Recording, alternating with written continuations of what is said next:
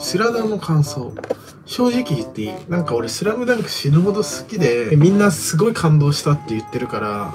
なんかもう本当に水を差したくないから SNS で全く言ってないんだけど正直俺はなんでそんなみんな感動したって言うんだろうって思った。ひねくれてるわけでは全くなく。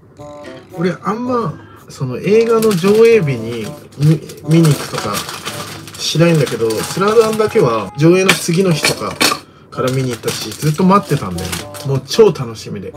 もう正直なんかえっとも思ってない。いや、まあ良かったけど、なんかなんでそんなみんな、どこに感動したんだろうって思った。感動はしないじゃん。ストーリーとか。ストーリーは別にさ、普通のストーリーじゃん。宮城亮太は。なんか、そのストーリー自体に何か深いものがあるわけじゃないじゃん。だから、あえてストーリーを、なんか普通の感動話みたいな、なんか、ある種、よくあるストーリーにすることによって、その映像の凄さとか、要はスラーメンにすることによって、スープの凄さを伝えるみたいな感じなのかなと思ったけど、正直、映像もなんか、多分すごい技術なのかもしれないけど、僕的にあれがなんか、感動する映像ではなかったというか、僕が技術のことわかんないからあれなんだけど、なんか、